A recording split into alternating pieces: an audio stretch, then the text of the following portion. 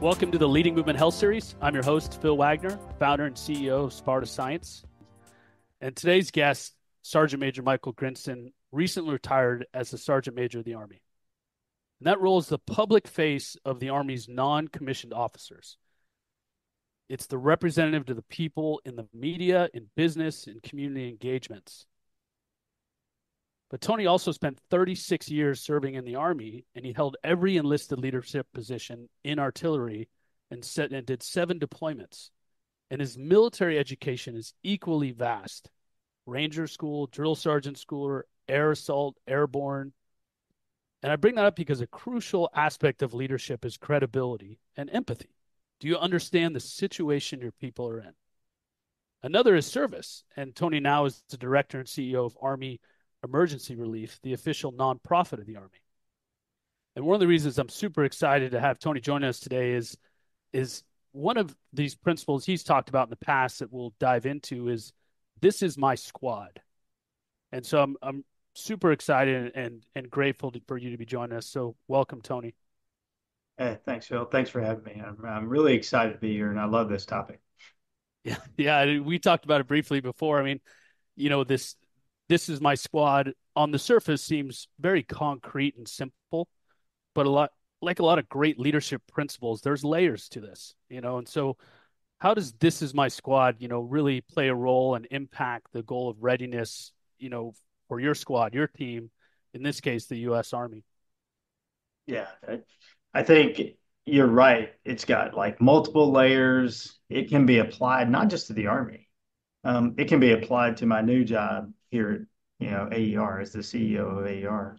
So when most people heard this is my squad, they thought infantry squad, maybe even like you said, you know, this is to the Army, and I would disagree with that. Um, it's got multiple layers, extremely complex. It's a simple concept, but it's very complex and has multiple layers. Kind of like me, you know, we got different yep. layers. Um, you know, people say, you know, what are we going to call you now? I said, Tony's good. so, um, yep. And how does that apply to my squad? Is like you have more than one squad you can be a member of, and and you have different roles in that squad. And do I always want to be the sergeant major army? Um, that would have been cool, but you know that's not the job that I have now. So the job that I have now is the CEO of ar and that's a new role, and I have to adapt to that. And I have a new squad, I have people that I need to take care of, and I need to evolve and get better in my new role. And if I don't do that, I'm not going to ever change. I'll get stuck in what I've done in the past. And that's not what the Army needs to do. That's not what I need to do.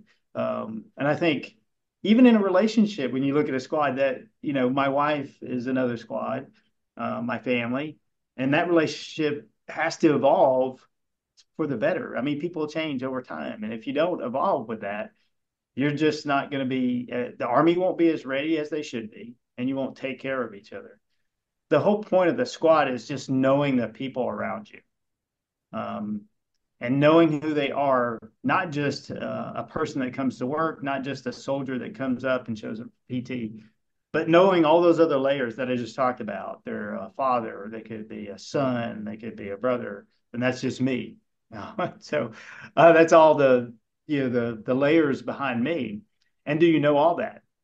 And i think when you know all that about the people around you whether you're in the army or you're not you can employ them better.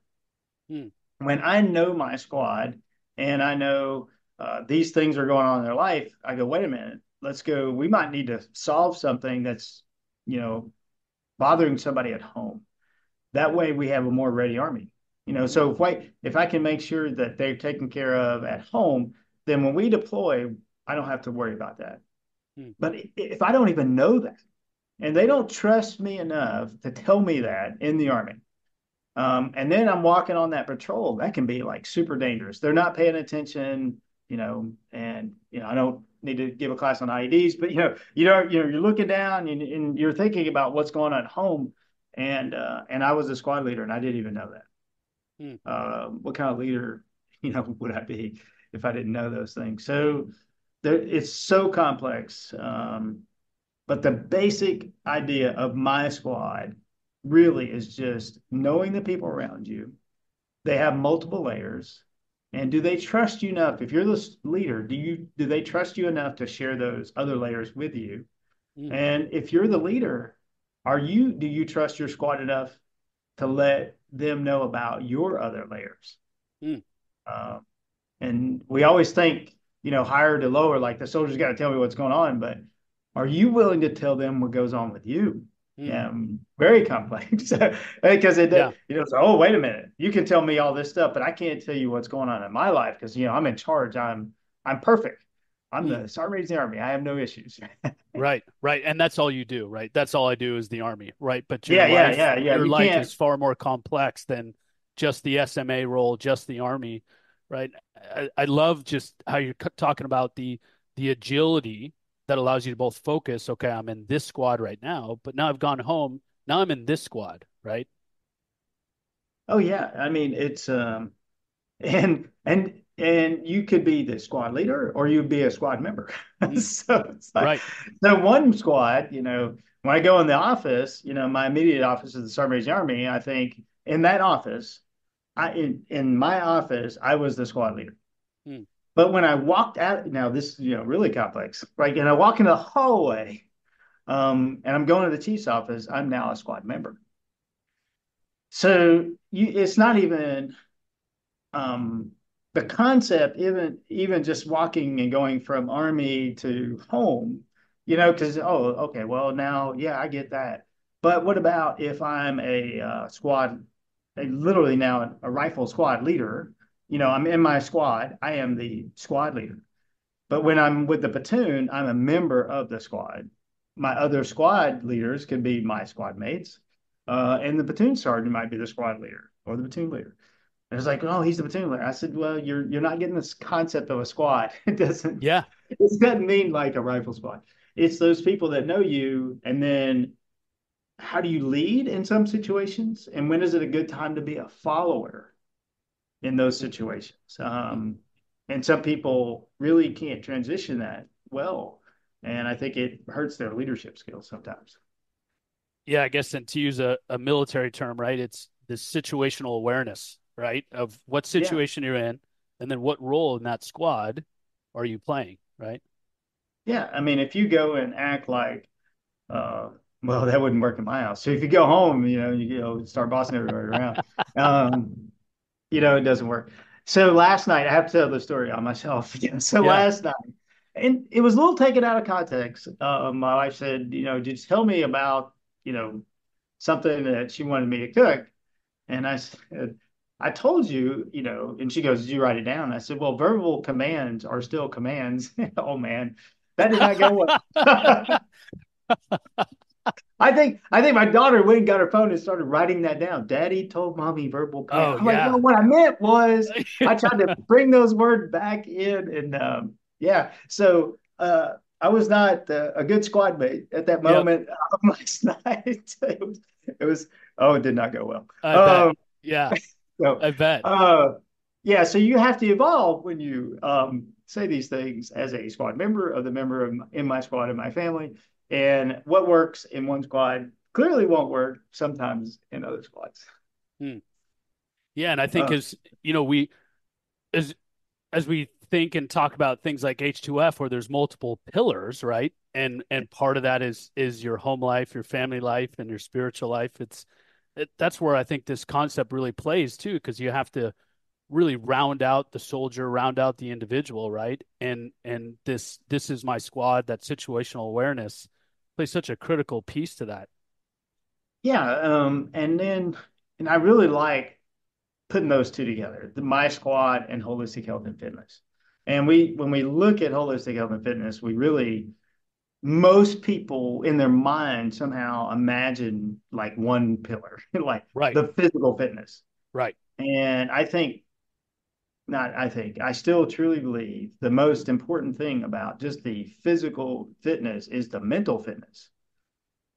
I don't think if you're meant if you're not mentally strong, you can't be physically strong.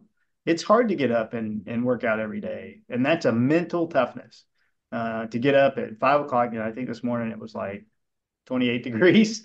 And, uh, you know, and good news, I still ran. So everybody, it's okay. I'm still here. Uh, So uh, I ran about seven and a half miles.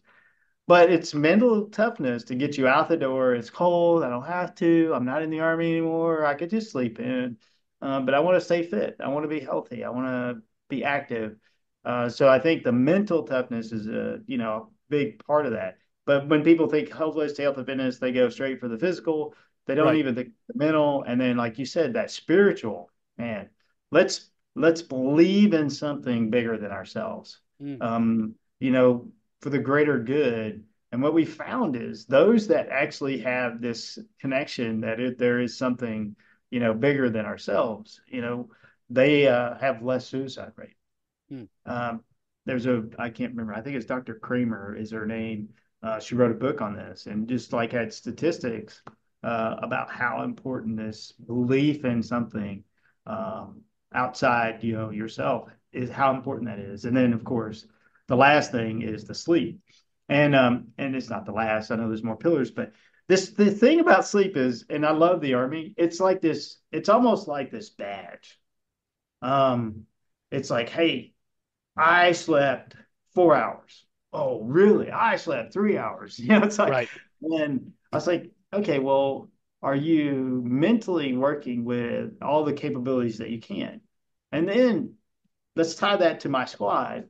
And then can you be either a good role model for your squad and get enough sleep? Um, and then set that example. And I think we don't. Um, and it's like this badge of honor or toughness. I've seen it too many times in combat where people will, you know, hey, I stayed up all night. I said, well, well, when you're making those decisions, life or death, these are literally life or death decisions. You're not using your full mental capacity. When you're sleep deprived, it's just like being drunk. Um, there's plenty of studies on this, but right. we have this badge like, yeah, I did it.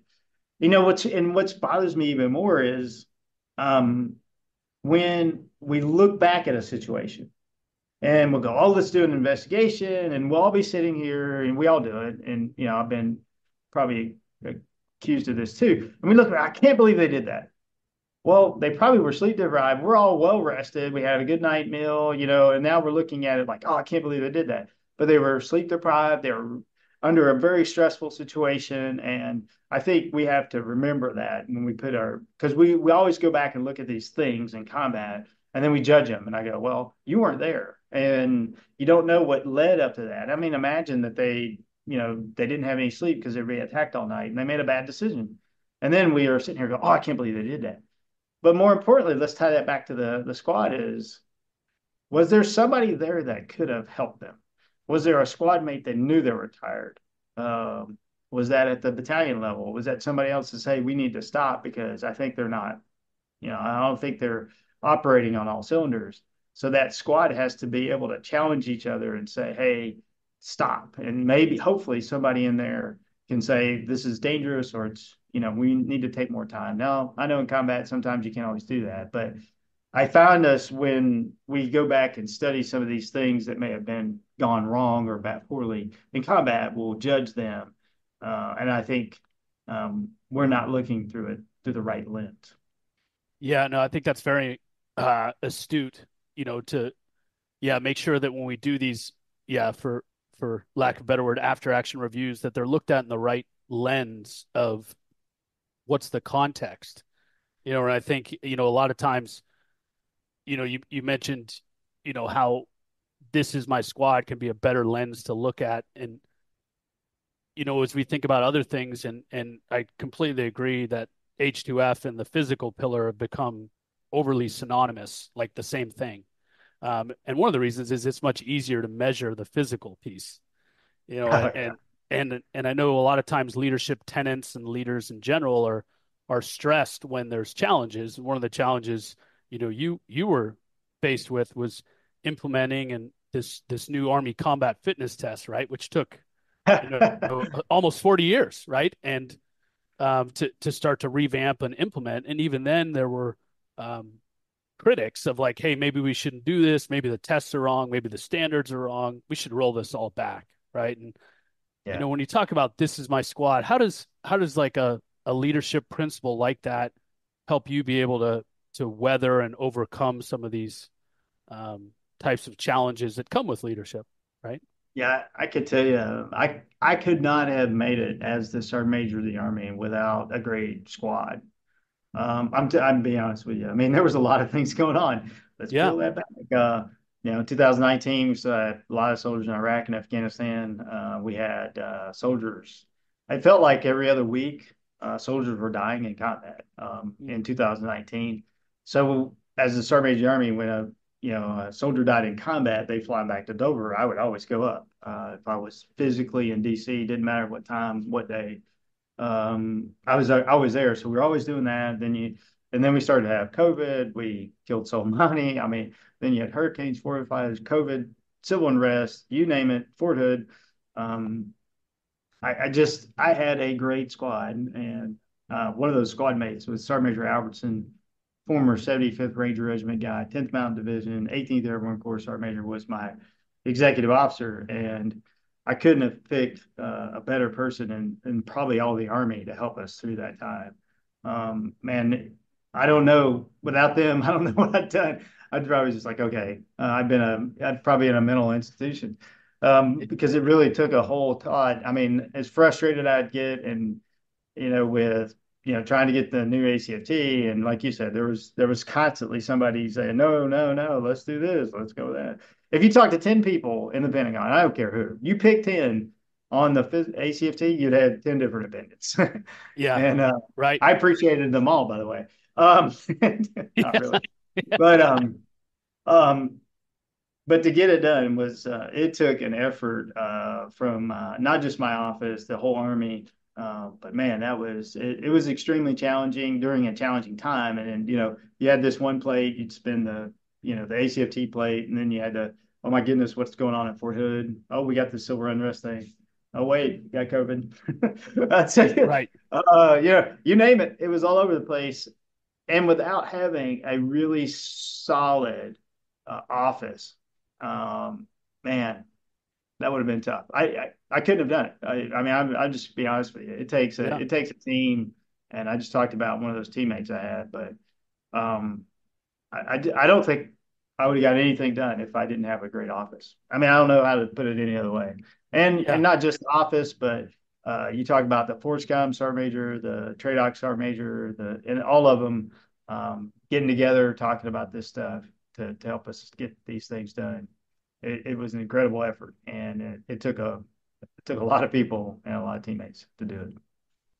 Yeah, and I think there's a couple words you mentioned in there. It reminds me, uh, uh, I'm based out in the Silicon Valley, and there's a lot of tech companies that have a big poster on the wall that say "done is better than perfect." You know, with this Yeah. idea that hey, if we're trying to build innovation and products that are perfect, right, we're never going to complete anything, right? If we're if we're chasing this, uh, you know, ace perfect ACFT, and and you're holding up this, it always seems impossible until it's done. That's right, right? I mean, if we if if we if we're constantly trying to make it perfect, right, we're never really going to get anything done. But that's where I think, to your point, having that tight squad, you know, to to help and hold each other accountable, really allows you to endure challenges, right? That to get things done. Yeah, that that whole concept um, uh, perfection uh, versus good enough, really. Mm, Um, you know, there's a book I just finished reading. I think it's A Minute to Think by Juliet Funt. Um, very good, and it actually talks about you know this thief of time. You know, and the time thief says, "I'm going for perfection," when really what I need is good enough. You know what I right. mean? That's Time a thief. Yeah. yeah, you, you can you can get to you can just keep going after perfection because you want it just to be perfect. Um, and you know, last time I checked, uh, perfection doesn't exist. so, Yeah. uh, so you know, just sometimes, and even with ACFT, you know, I was like, that's not perfect. Okay, nothing's perfect. Right. um, and like I said, ten people down the hallway in the Pentagon had ten different versions of what perfect would be anyway. Mm, So, um, I think, and I'm not saying the ACFT is good enough, like it's a bad thing. It's a very good assessment of physical fitness. mm. Um, And it's better than before, right? oh, So what's the Let's uh, yeah, yeah. Uh, that's not it's better than before. You know what? You know, push ups, set ups, and a run. It's just a you know two aspects of you know physical fitness opposed to like all of them. you know, so right, like, right. Uh, you know, yeah, it's like um, like we were saying before. It's like yeah, you know, that's like going from the glider to a C seventeen. So yeah, yeah, it's a little bit better. it's a lot better. Um, uh, and, you know, here's another funny. It's like you know, a lot of people kept talking about the men. And I thought about this, I guess, after clear thought and a little bit more sleep as, you know, as I retired. And the men, the men, I was like, the men, the men. You know, I, I just remember being a soldier for 36 years. I never talked about the minimum score of what was on the physical fitness test. That's, I was like, only if I was, you know, wanting to chapter somebody out. But um, everything else, uh, when I was a squad leader, so was all about the maximum. Like, mm. how do I achieve the the the best? You know, can I get the the 300, the 600? And what do I need to do that? And how do I get my unit to achieve a 300, 600? Um, I, it was very very rare that I was like, oh, let's let's go look up the men. Let's go look and see how we can do the bare minimum. like, right, right. It's a to- yeah. Uh, it's a great point. It's a great point. Why why as organizations, you know, do do we we get overly concerned with um, the the minimum bar, right? Why aren't we striving for the maximum, right? Uh, you know, achievement, and and and be less concerned about what's the the minimal requirement. Yeah, it's like um, I, my, I guess again, let's go back to that mental aspect of it. I would be concerned about a leader that comes in and walks in. You know, I walk into AER and say, "Hey, you know what? This is what I want to do. I want to do the bare minimum." That's like, yeah, I'd probably be fired. I, I don't think I've been hired. Uh, like, who does that? I mean, you know, no, you said, hey, I want to achieve more than what I've done in the past. And we want to go up to the, the maximum amount that we can help our soldiers, whatever the, you know, like, I think that's the attitude. I would be concerned about the organization that comes in and says, okay, let's go look up those men standards and make sure, you know, we just do the bare minimum. Mm-hmm. Um, I mean, I, I that applies to any organization, right? As a business, hey, let's make sure we don't lose money. Yeah. right. Or yeah. as a hospital, let's make sure the patient doesn't get any sicker. Right.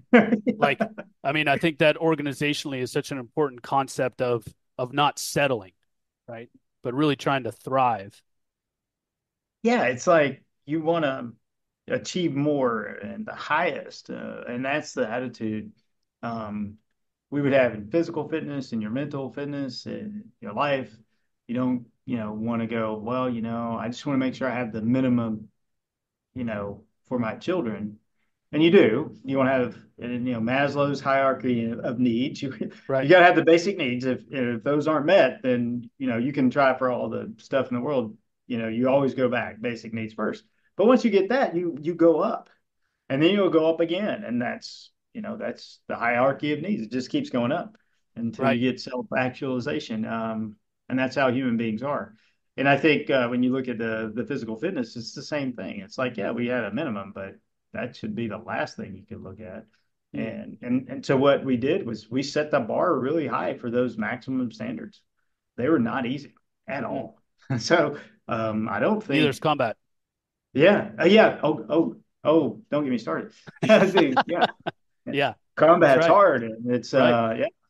Um and the bar may be the bar there is really high, it, you know, because it could be death, you know, and that's uh that's not a bar you want to to get to and you got to be you know at the highest peak. And I tell you, you know, physical fitness and combat um my philosophy was I never wanted to be um uh either myself or my soldiers put in harm's way because I wasn't fit enough.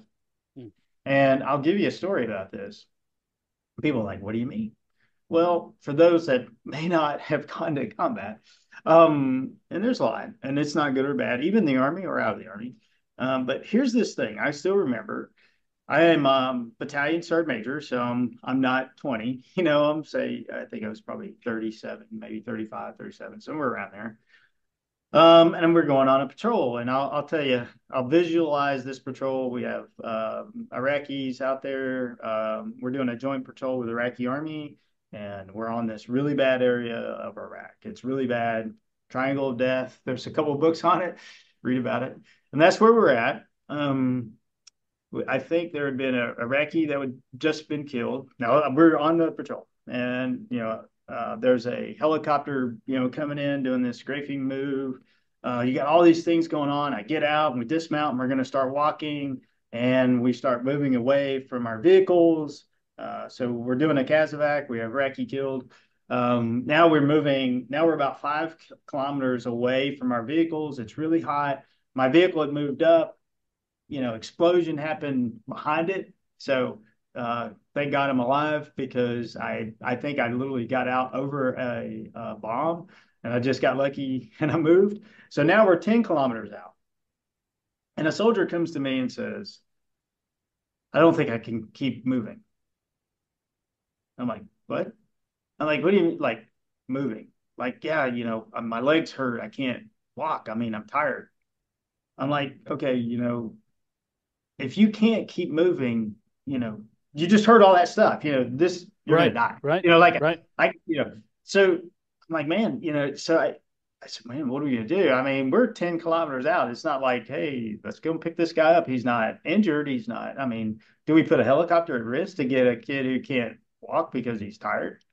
Um, right. yeah, that's not happening. So I I thought the only thing I could do is I said, I'll take all your equipment. Um, you know, so uh, here I am, the battalion sergeant major. We're we're 10 kilometers away from the vehicles, and I just take his rucksack. I take he's the SAW gunner. I take all his ammo, everything, and I carry it for him.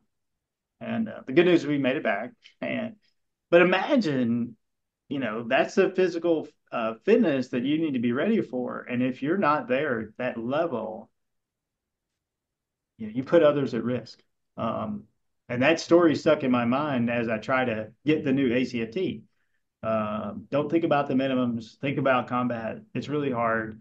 And yes, the PT test is really hard, and we got to go for the max because you don't want to be out there and you want to be the one that says, "Hey, I can't keep walking because I can't carry my equipment," and you put the whole squad at risk. Uh, so yeah, there's your story about physical fitness in combat.